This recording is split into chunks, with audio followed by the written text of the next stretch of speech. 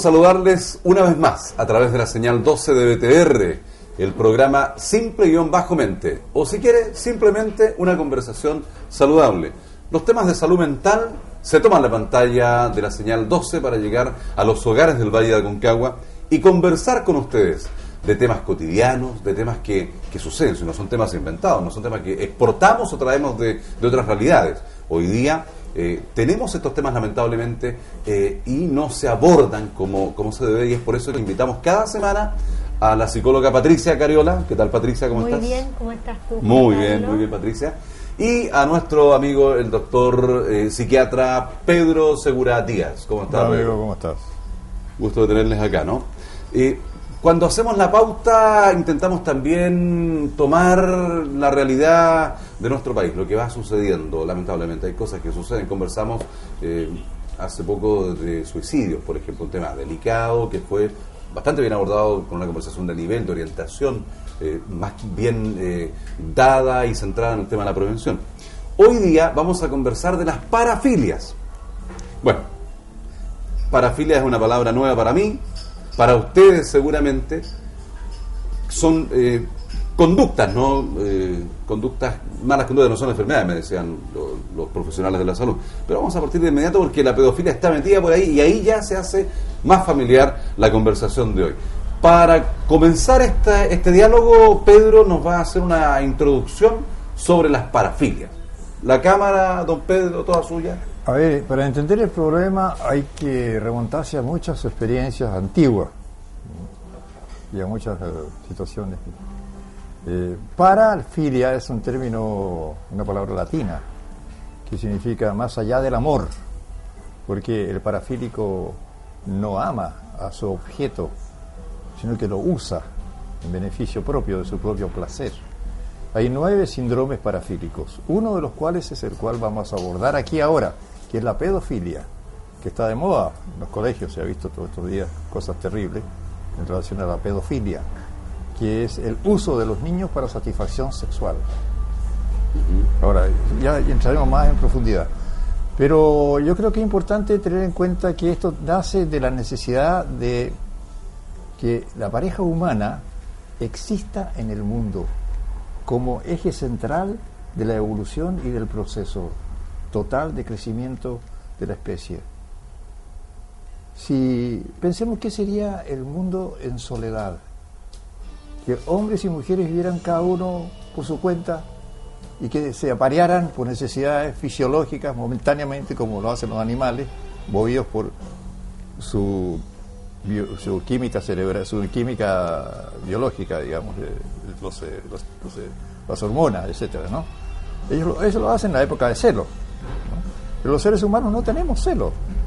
Tenemos una intensidad de deseo sexual que es permanente, que se exacerba a veces, pero necesitamos permanentemente más que eso, necesitamos la compañía del otro, de la otra.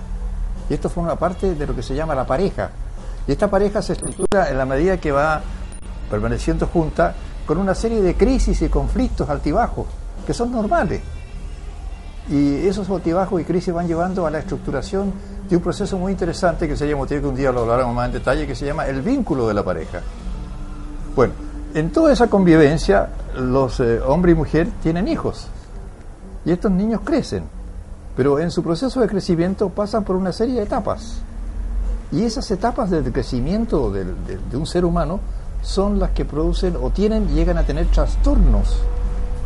Porque son etapas muy complejas que las estudió muy detenidamente un gran hombre que se llamó Sigmund Freud, que todo el mundo lo conoce. Claro.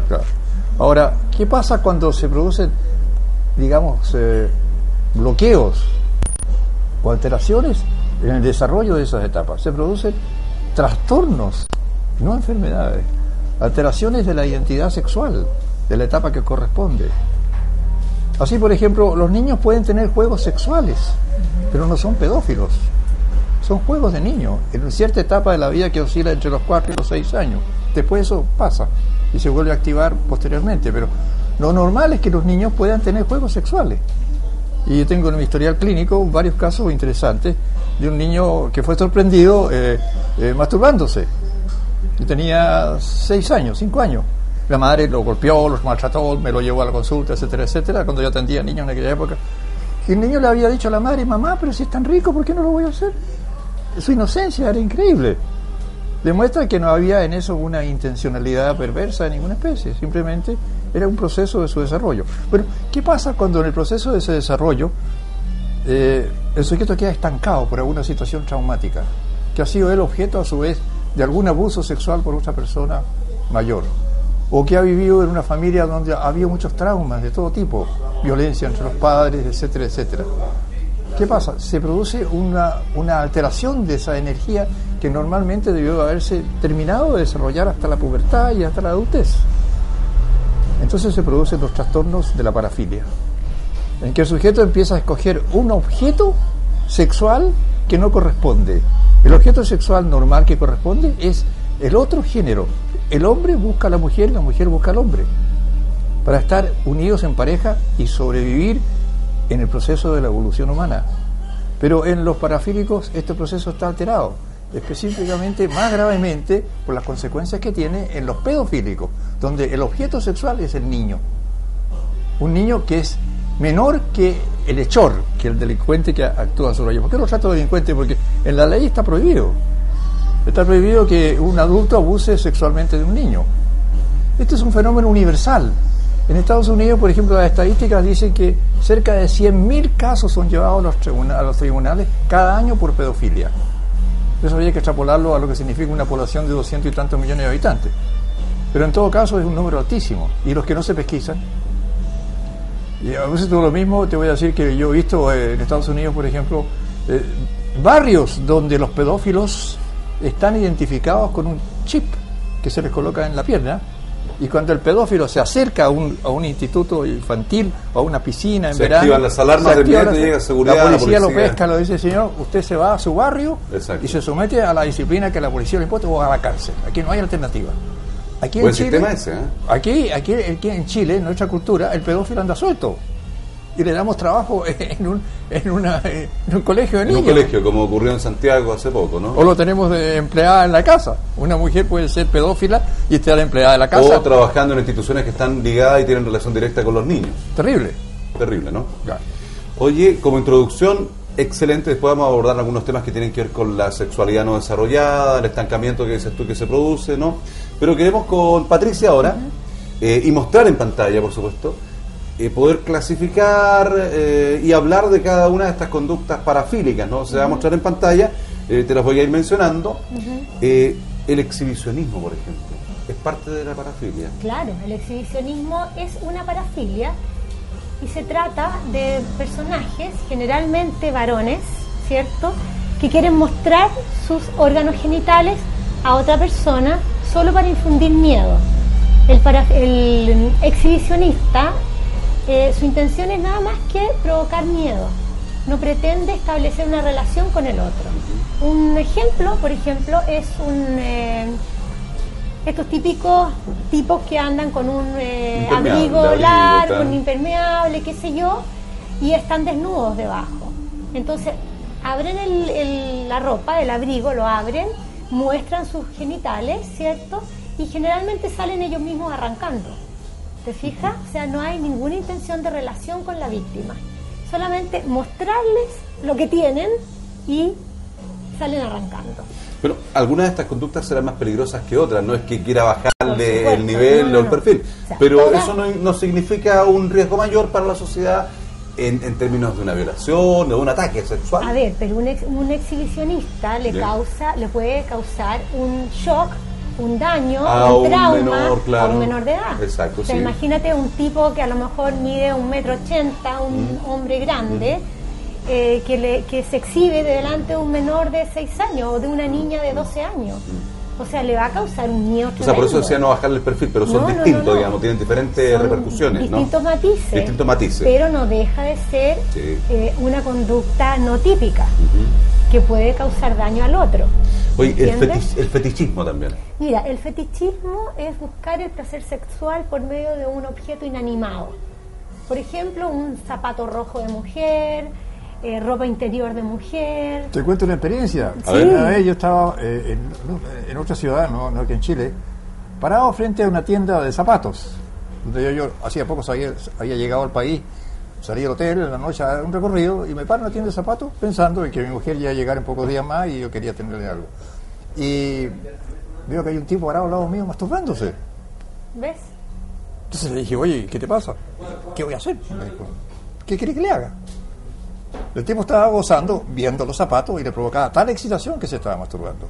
Y en plena vía pública, a plena luz del día. ¿Te das cuenta de la ropa interior de mujer, Ya. las medias, las El tipo que coleccionaba, ¿cuántos? ¿500? ¿Cómo? Había un 500 tipo.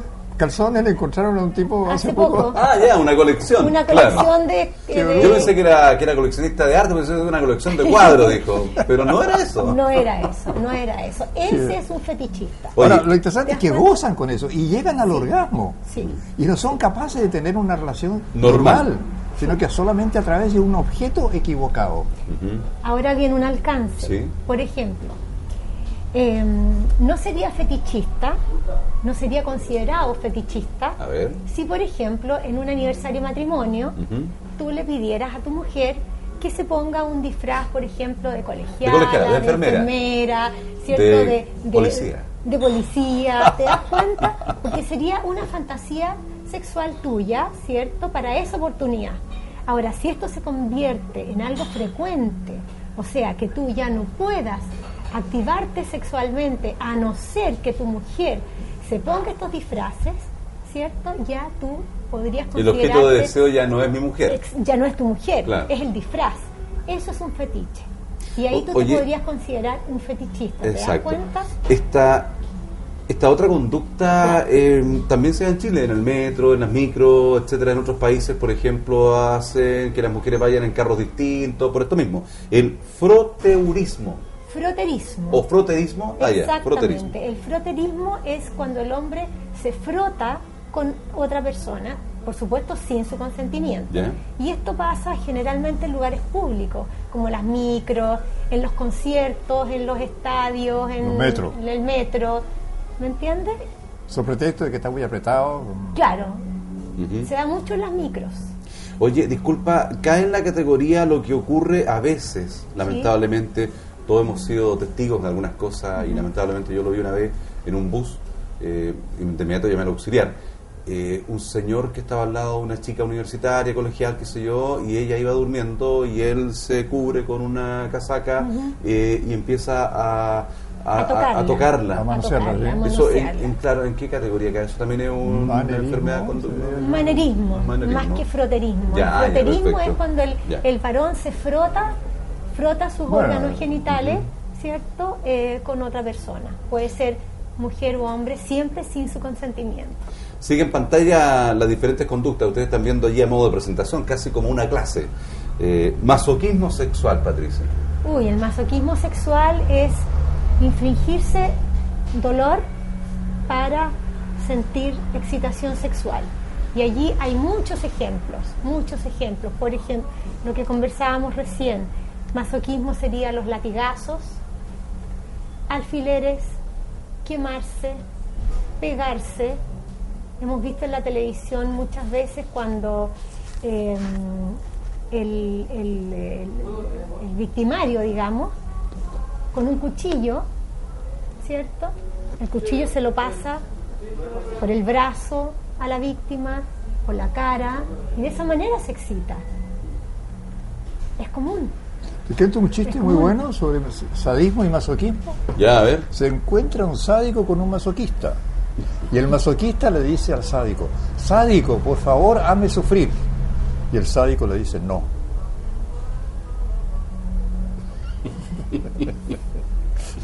Ya, tenemos, tenemos risas grabadas, puede ser un chiste de alto vuelo, de alto nivel, no, pero viene muy bien también, ¿no?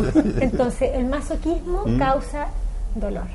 Oye, eh, pregunto, a lo mejor de ignorancia, pero es bueno para que lo saquen a- uno de, de aquello. Eh, el, el hombre, este, el actor Kung Fu, ¿se acuerdan ustedes de David Carradine? Que muere en un hotel por ahí en Tailandia, aparece ahorcado.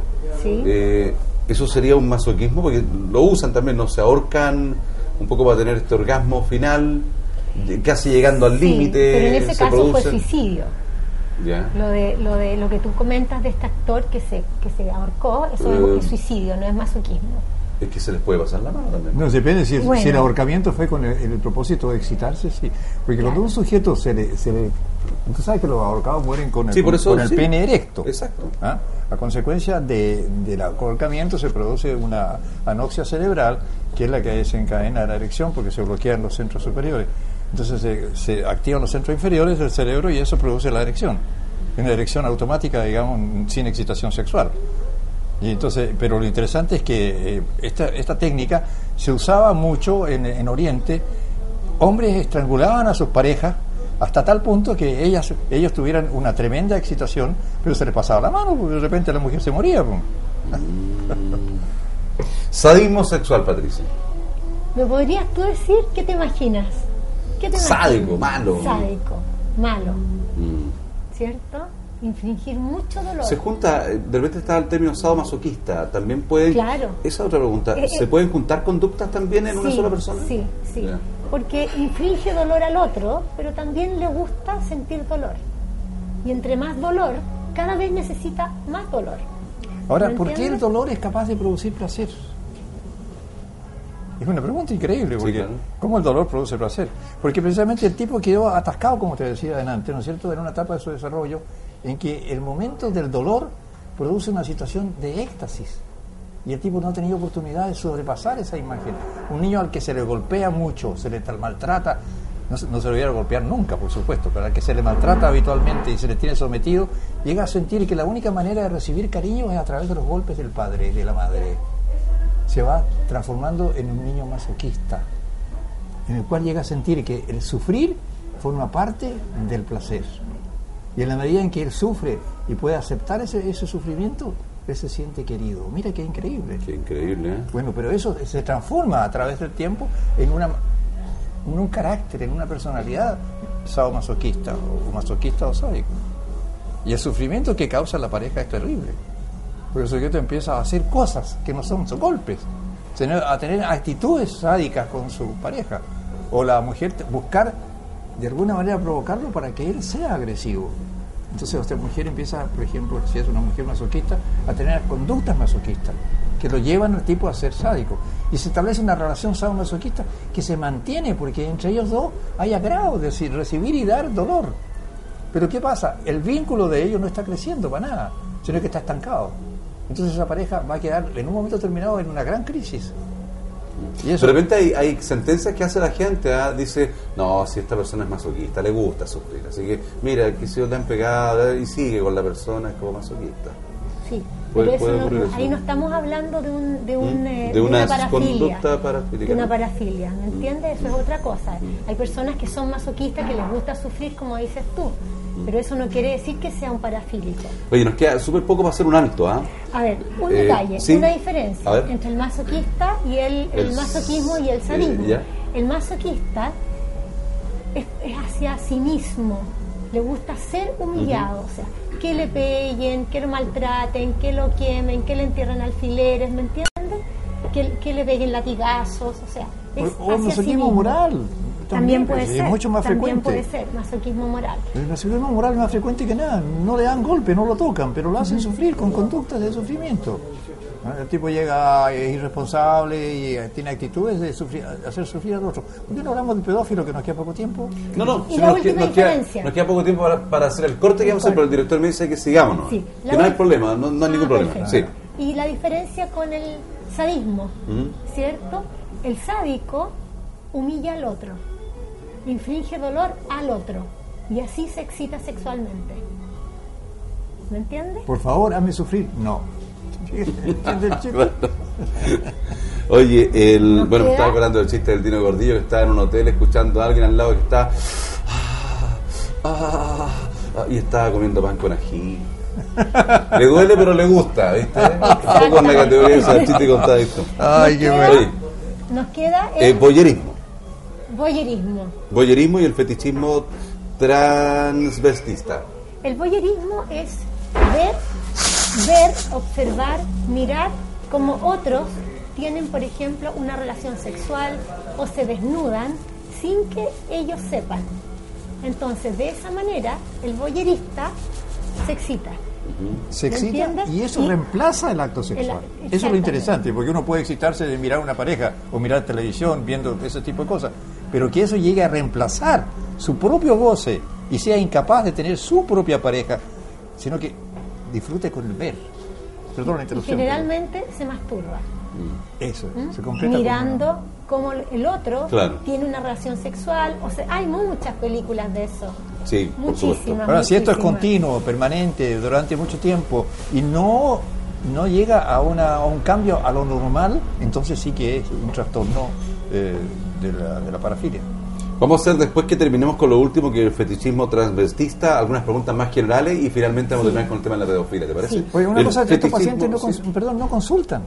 Eso, eso, es lo, eso es lo dramático, No. que estos pacientes no consultan. Pero pueden consultar la pareja. Ya, y ahora, son llevados por su pareja. ¿Qué, qué, qué psiquiatra o qué psicólogo no tiene en su casuística experiencia de este tipo? Yo tengo muchas de este tipo. En que es la mujer la que lo llevó al tipo. Porque lo sorprendió, entorno. lo sorprendió. Un arquitecto, me acuerdo hace muchos años, y no me va a escuchar, por supuesto, y, y la mujer lo sorprendió que se levantaba a medianoche e iba a la cuna del niño de, de, de 8 o 9 meses a succionarle el pene a su hijo que estaba durmiendo y entonces esa era una conducta evidentemente anormal, por supuesto. Ella me consultó, yo hablé con el sujeto, en fin, el tipo se dio cuenta de su error, todo lo demás, reconoció, pero cambió su conducta a qué? A ir a los colegios a buscar muchachitos que los subía a su camión, a su auto, a su auto y, los masturbaba. En una de esas lo pilló, el, niño le dijo a su padre que era un oficial de ejército, y el oficial de ejército le dijo, ah, deja que te suba la camioneta, nosotros lo vamos a seguir. Lo siguieron a este señor, que era un profesional destacado y conocido en Chile, y le dieron una pateadura, casi lo mataron. Evidentemente que eso es una crueldad, porque ese hombre es un enfermo, lo que hay que hacer es meterlo preso, ¿no es cierto? Aislarlo, colocarle un chip, todo lo que tú quieras, pero no se puede matar o querer destruir a un- una criatura enferma que está trastornada emocionalmente y que tiene una parafilia. Eh, Nos da asco, no- no- no- nos repugna, No, por supuesto, rechazamos, y tenemos el deseo de, de agarrar a ese tipo y darle una paliza. Es la primera reacción. Claro, la primera reacción muy humana, pero, pero no es la solución. No es la solución, claro. Hay que tener Eh, cuidado con eso, ¿ah? porque generalmente los padres o las madres dicen, si yo llego a Yo lo- lo pillar mato, a mi lo marido, mato". lo mato. Yo tomo la justicia con mis manos y lo mato. Y lo mato, claro. ¿Cierto? Pues uno, como dice acá Pedro, eh, realmente es un hombre enfermo, Es un hombre que enfermo, claro. necesita tratamiento. Oye, Patricia, fetichismo transvestista. Fetichismo transvestista. ¿Qué quiere Ya, decir? claro. Es el varón que se viste de mujer para lograr excitación sexual y por supuesto también se masturba. Es eso. Ahora, em, quisiera hacer un alcance. Todos, a lo mejor en alguna medida, somos parafílicos. En alguna medida, ¿cierto? Porque más de alguna vez, si tenemos la oportunidad de mirar por la ventana. Fantaseamos. Exacto, fantasear.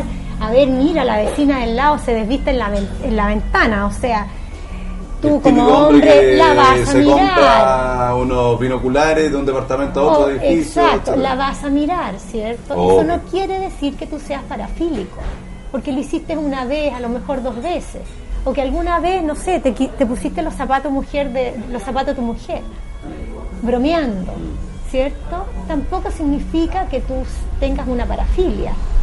Y así con cada una de las de las parafilias que hemos conversado.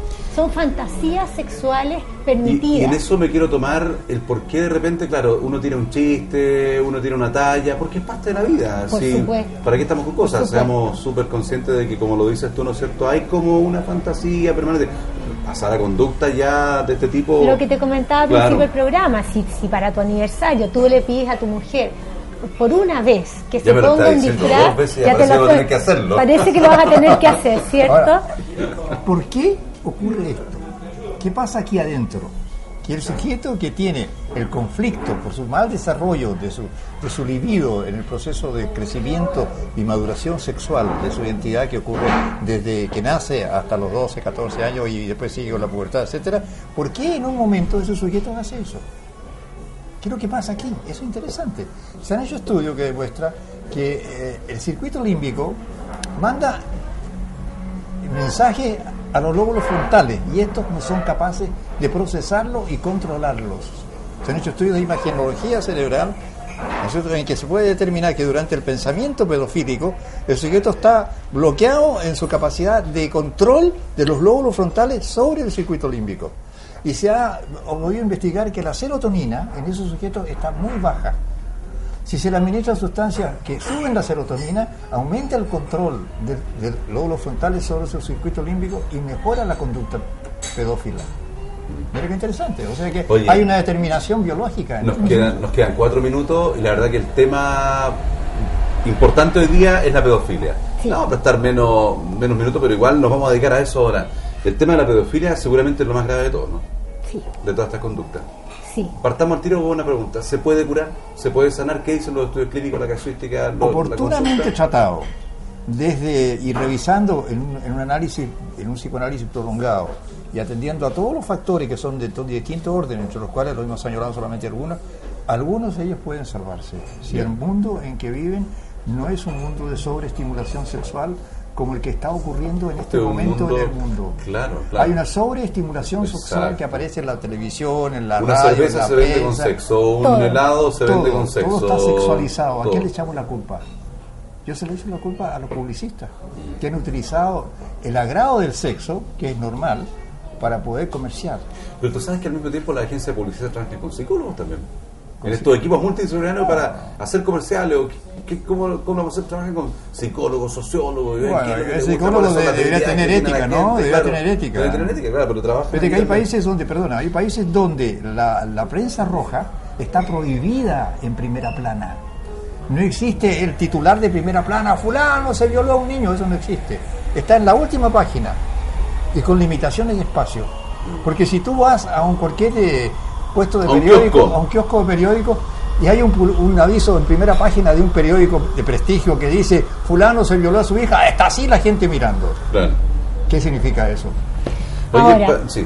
Antes que se nos termine el programa, es muy importante, quisiera yo hablarle a las madres Ah, eso es bueno. eh, de, los, de, de los niños, a, todas- a están todas las madres, madres, París, en esa cámara. a todas las madres de, de nuestra zona. Y a propósito quiero mandar un saludo, me pidieron que mandara un saludo especial a mi comuna que es San Esteban y especialmente a un eh, televidente que tengo por ahí que se llama Felipe, que me sigue toda la semana, a pesar que es un menor de edad y él es fiel y se junta con algunos amiguitos todas las semanas a ver el bien, ¿eh? programa. Bien. Sí, y están aprendiendo mucho este programa, así que saludos para Felipe. Bueno, eh, rápidamente algunas, algunos consejos a las madres. Eh, principalmente si el niño de repente duerme mal, de repente come mucho o come poco, de repente tiene miedo, pregúntele a su hijo, ¿por qué tienes miedo? El niño nunca jamás va a mentir acerca de un abuso sexual si una madre, si un niño está siendo abusado o ha sido tocado por un adulto, el, el niño jamás va a mentir con eso. Entonces créale a su hijo. Por favor, créale a su hijo y pregúntele a su hijo qué te pasa en un ambiente, por supuesto, de intimidad. Dele la confianza al niño para que le cuente qué está pasando. Si el niño le dice, mi papá me está tocando, por ejemplo, eh, el potito, créale, porque el niño no va a mentir No con eso. Ahora, el niño generalmente abusado está amenazado por el agresor. Le dice, si tú me acusas por tu culpa, me van a meter a la cárcel, ¿cierto? Y yo te voy a dañar. Es tu culpa. Entonces, créale al niño. Tenga cuidado con eso. ¿Me perdonas una interrupción? Sí. Eh, tenga mucho cuidado con las, lo que se llaman zonas erógenas en el ser humano. Los labios, los lóbulos de, de las orejas, los pezones en las mujeres, eh, los genitales obviamente, Por son supuesto. zonas capaces de transmitir intensa sensibilidad sexual al ser estimulados. ¿Ven? Ahora, hay madres que besan a sus hijos en la boca. No lo haga. Yo cuando lo veo hacer, digo, esta señora no tiene idea de lo que está haciendo. Lo hace con cariño, evidentemente, no con mala intención, pero está erotizando a ese niño. ¿Te fijas? Hay padres que le tocan el pechito a sus hijas que le está creciendo. Y eso evidentemente no debe hacerse. ¿no? Y hay madres y, padres que en el momento de bañar a sus hijas a cierta edad se, se solazan, digamos, lavándole los genitales. tenga cuidado, porque está estereotizando y está facilitando la presentación de una serie de trastornos eh, de tipo parafílico en el niño. Ahora, lo importante es consultar a tiempo, ¿cierto? Y hay solución. La terapia cognitivo-conductual busca los pensamientos asociados a esa excitación sexual. ¿Me entiendes? De esa manera los identifica, ¿cierto? Y con terapia se pueden cambiar, digamos. Entonces es importante consultar. Y por favor le pido a las madres que le crean a sus hijos al menor indicio de una conducta extraña. Se nos acaba el tiempo. Eh, nos quedamos con estos sabios consejos, útiles consejos que entregan los profesionales de la salud mental, el psiquiatra Pedro Segura y la psicóloga Patricia Cariola. Ustedes los pueden encontrar en el Centro Médico Las Rosas de los Andes y a Pedro en el IST de San Felipe. Muchísimas gracias por la sintonía. Es un tema para seguir conversando, sigarlo haciendo en casa, porque puede iluminar, puede ayudar, puede ayudar a la prevención. Llegar antes de o en el momento de para salvar situaciones que después pueden prolongarse por el resto de la vida y afectar la vida, sobre todo los más pequeños. Patricia, muchas gracias. A ti, Juan Carlos. Pedro, muchas gracias. Gracias, Dios mediante, será hasta la próxima semana para otro Simplemente.